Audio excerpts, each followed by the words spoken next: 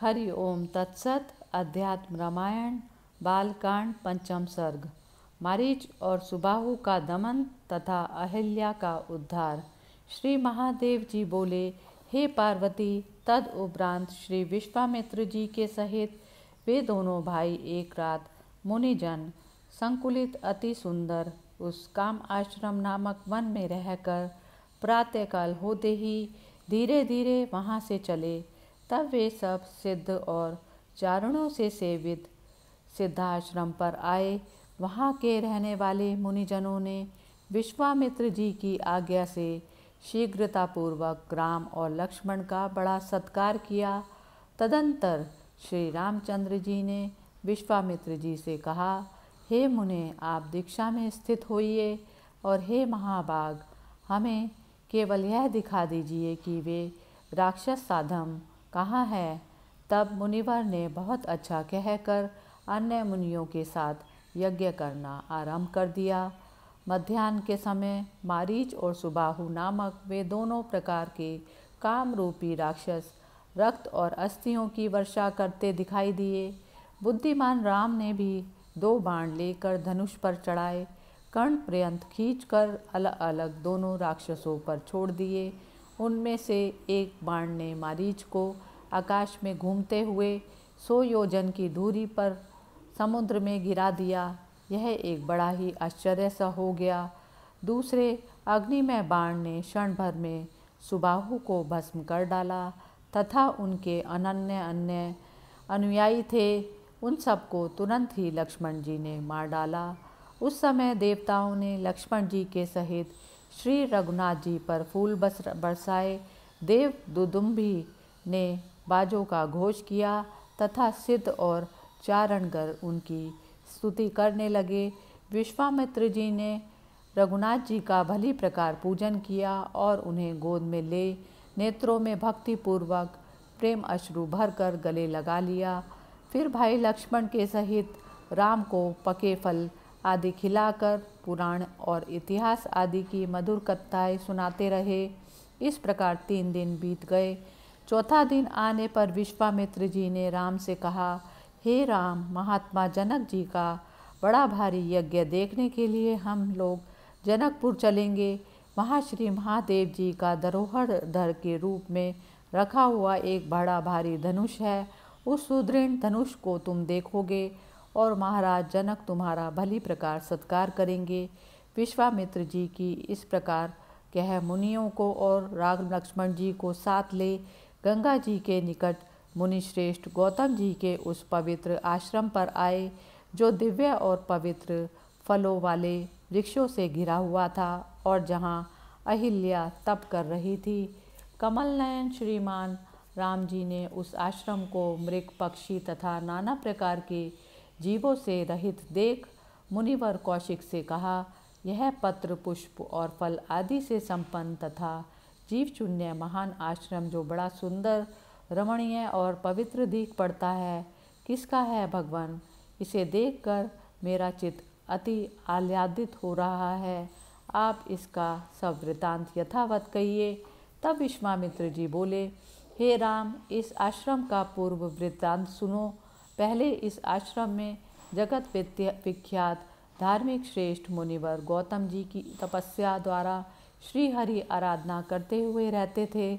उनके ब्रह्मचर्य से संतुष्ट होकर भगवान ब्रह्मा जी ने उनकी सेवा के लिए उन्हें अहिल्या नाम की एक लोक सुंदरी सेवा परायणा कन्या दी और तब स्रप्रवर गौतम जी उस अहिल्या के साथ रहने लगे। देवराज इंद्र अहिल्या के रूप लावण्य पर मुग्ध होकर नित्य प्रति उसके साथ रमण करने का अवसर देखने लगे। एक दिन मुनिवर गौतम के बाहर जाने पर वह गौतम के रूप में अहिल्या के साथ रमण कर जल्दी से वहाँ से चलते बने। इसी समय मुनि भी वहाँ लौट आए।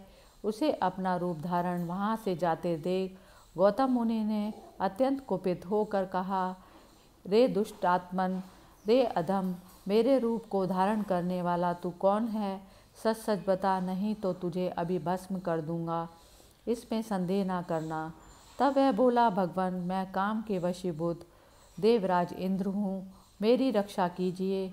मुझ पापात्मा ने बड़ा घृणित कार्य किया है। तब गौतम ने क्रोध से आँखें लाल कर देवराज को श्राप दिया। हे दुष्ट आत्मन तू योनि लंपट है, इसीलिए तेरे शरीर में सहस्र भग हो जाएँ। इस प्रकार देवराज को श्राप देकर मुनि ने अपने आश्रम में प्रवेश किया तो देखा अहिल्या भय से कांपती हुई हाथ जोड़े खड़ी है। उसे देखकर गौतम जी ने कहा, हे दुष्टे, तू मेरे आश्रम में शिला में निवास कर। यहाँ तू निराहार रहकर धूप, वायु और वर्षा आदि को सहन करती हुई दिन रात तपस्या कर और एकाग्रचित से हृदय में विराजमान परमात्मा का राम का ध्यान कर अब से यह मेरा आश्रम विविध प्रकार के जीव जंतुओं से रहित हो जाएगा। इसी प्रकार कई हज़ार वर्ष बीत जाने पर यहाँ दशरथ नंदन श्री रामचंद्र जी भाई लक्ष्मण के साथ आएँगे। जिस समय वे तेरी आश्रयभूत शिला पर अपने दोनों चरण रखेंगे, उसी समय तू पाप मुक्त हो जाएगी तथा भक्तिपूर्वक श्री रामचंद्र जी का पूजन कर, उनकी परिक्रमा और नमस्कार पूर्वक स्तुति कर श्राप से मुक्त हो जाएगी। फिर पूर्वत मेरी सुखपूर्वक सेवा करने लगेगी। ऐसा कहकर महर्षि गौतम पर्वत श्रेष्ठ हिमालय पर चले गए। हे रघुश्रेष्ठ, उसी दिन से यह अहिल्या वायु भक्षण करती हुई कठोर तपस्या में स्थित हो आपके चरण रज के स्पर्श से कामना करती हुई आज तक प्राणियों से अलक्षिता रहकर अपने शुभ आश्रम में रहती है। हे राम, अब तुम ब्रह्मा जी की पुत्री गौतम पत्नी अहिल्या का उद्धार करो। मुनिवर विश्वामित्र जी ने ऐसा कह, कहा, रघुनाथ जी का हाथ पकड़ के उन्हें उग्र तप में स्थित अहिल्या को दिखलाया। तब श्री रामचंद्र जी ने अपने चरण से उस शिला को स्पर्श कर तपस्विनी अहिल्या को देखा। उसे देखकर भगवान राम ने, मैं राम हूँ ऐसा कहकर प्रणाम किया। तब अहिल्या ने रेशमी पिताम्बर धारण किए। श्री रघुनाथ जी को देखा। उनकी चारों भुजाओं में शंख, चक्र, गदा तथा पद्म सुभोष सुशोभित थे।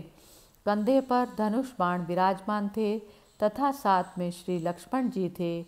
उनका मुख मुस्कान युक्त, नेत्र कमल दल के समान और वक्षस्थल श्री वत्सांग से सुशोभित था। अपने नीलमणि सदृश श्याम विग्रह से वे दसों दिशाओं को प्रकाशित कर रहे थे। रमानाथ श्री रामचंद्र जी ने दे, को देखकर अहिल्या के नेत्र में हर्ष से खिल गए और उसे मुनिवर गौतम के वाक्यों का स्मरण हो आया। तब उन्हें साक्षात नारायण जान उस आनंदिता ने अर्ध्यादि से उनका विधिवत पूजन किया और नेत्रों में आनंद अश्रु भर साष्टांग दंडवत प्रणाम किया। और फिर बोली, कमल नयन, भगवान राम को देख, सर्वांग से पुलकित हो, गदगद वाणी से उनकी स्तुति करने लगी। अहल्या जी बोली, हे जगन निवास, आपके चरण कमलों के रच कण का स्पर्श कर आज मैं कृतार्थ हो गई। अहो, बड़े भाग्य की बात है, आपके जिन पादार बिंदों का, ब्रह्मा और शंकर आदि एकाग्रचित से सर्वदा अनुसंधान किया करते हैं। उन्हीं का आज मैं स्पर्श कर रही हूँ। हे राम, आपकी लीलाएँ बड़ी विचित्र हैं। आपके मानुष भाव से संपूर्ण जगत मोहित हो रहा है। आप पूर्णानंदमय हैं और अति मायावी हैं, क्योंकि चरण आदि हीन होकर भी आप निरंतर चलते रहते हैं। जिनके चरण कमल से पराग से पवित्र हुई श्री गंगा जी शिव और ब्रह्मा आदि जगदीश्वरों को भी पवित्र करती है। आज साक्षात वे मेरे नेत्रों के विषय हो रहे हैं। मैं अपने पूर्वकृत पुण्य कर्मों का किस प्रकार वर्णन करूँ? जिन्होंने परम सुंदर मानव देह से मर्त्यलोक में अवतार लिया है, मैं उन धनुषधारी कमल दल लोचन भगवान राम का सर्वदा भजन करती हूँ। किसी को भी नहीं भजना चाहती जिनने चरण कमल की रज को श्रुतियाँ भी ढूंढती हैं, जिनकी नाभि से उत्पन्न हुए कमल से ब्रह्मा जी प्रकट हुए हैं, तथा जिनके नाम अमृत के भगवान शंकर रसिक हैं। उन श्री रामचंद्र जी का मैं अपने हृदय में अहरनिश ध्यान करती हूँ, जिनके अवतार चरित्रों का नारद आदि, देव ऋषि गण ब्रह्मा और महादेव आदि देवेश्वर गण और आनंद अश्रुओं से जिनके कुचमंडल भीगे हुए हैं। वे सरस्वती जी भी श्री ब्रह्मलोक में निरंतर गान करती हैं। उन प्रभु जी की मैं शरण लेती हूँ।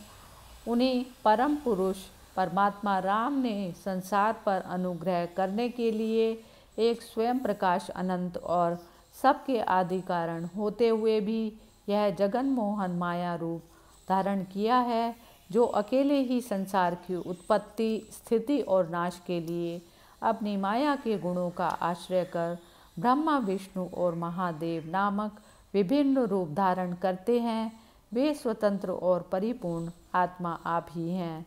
हे राम, आपके जिन चरण कमलों को श्री लक्ष्मी जी अपने वक्ष स्थल पर रखकर बड़े प्रेम से लाड़ लड़ाती हैं, जिन्होंने पूर्व काल में बलि बंधन के समय एक ही पग में संपूर्ण त्रिलोकी माप ली थी तथा अभिमानहीन मुनिजन जिनका निरंतर ध्यान करते हैं, उन आपके चरण कमलों को मैं नमस्कार करती हूँ। हे प्रभु, आप ही जगत के आदि कारण, आप ही जगत रूप और आप ही उसके आश्रय हैं। तथापि आप समस्त प्राणियों से पृथक हैं और अद्वितीय पर ब्रह्म से प्रकाशमान हैं। हे राम, आप ओमकार के वाच्य हैं तथा आप ही वाणी के अगोचर परम पुरुष हैं। हे प्रभु, वाच्यवाचक, वेद से आप ही संपूर्ण जगत रूप हैं। हे राम, आप अकेले ही बहु रूपमयी माया के आश्रय से कार्य, करण, कर्तत्व, फल और साधना के भेद से अनेक रूपों में भासमान हो रहे हैं। आपकी माया से जिनकी बुद्धि मोहित हो रही है, वे लोग आपका वास्तविक रूप नहीं जान सकते। आप मायापति, परमेश्वर को वे मूढ़जन, साधारण मनुष्य समझते हैं। आप आकाश के समान, बाहर भीतर सब और विराजमान, निर्मल, असंग, अचल, नित्य, शुद्ध, बुद्ध सत्य स्वरूप और अव्यय हैं। हे विभो, मैं मूड और अज्ञानी स्त्री जाति भला, आपके तत्व को क्या जानूं? अतः हे राम, मैं अनन्य भाव से आपको सैकड़ों बार नमस्कार करती हूँ। हे देव, मैं जहाँ कभी भी रहूँ, कहीं भी रहूँ, वहीं सर्वदा आपके चरण कमलों में मेरी आसक्ति बनी रहे। हे पुरुषोत्तम, आपको नमस्कार है। हे भक्त वत्सल, आपको नमस्कार है। हे ऋषिकेश, आपको नमस्कार है। हे नारायण, आपको नमस्कार है। जो संसार के एकमात्र भय दूर करने वाले हैं, करोड़ों सूर्यों के स्वामी प्रकाशमान हैं, कर कमलों में धनुष और बाण धारण किए हैं, शाम मेघ के समान आभा वाले हैं, सुवर्ण के समान पीत वस्त्र धारण किए हैं, रत्न जड़ित कुंडलों से सुशोभित हैं, तथा जिनके कमल दल के समान अति सुंदर विशाल नेत्र हैं, भाई लक्ष्मण सहित उन श्री रघुनाथ जी की मैं स्तुति करती हूँ।